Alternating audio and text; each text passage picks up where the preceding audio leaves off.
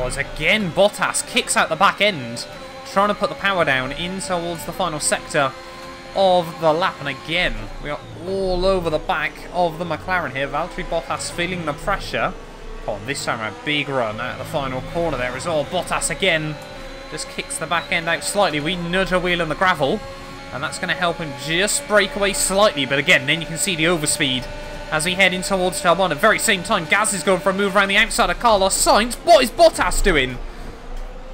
You can't do that in towards one there. And we get a warning for a collision there. Bottas moved around in the braking zone in my eyes there. And that's going to push us, I mean, apparently all over the road.